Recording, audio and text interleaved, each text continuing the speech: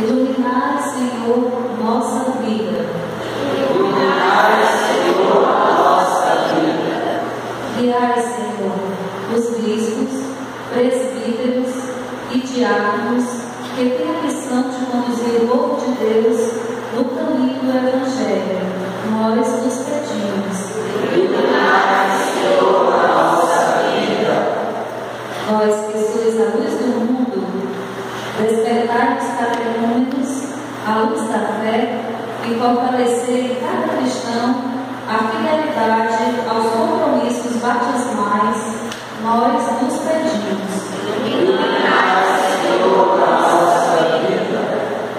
Vós, figurastes o céu de nascença, livrai-nos da cegueira do egoísmo, da discórdia e da indiferença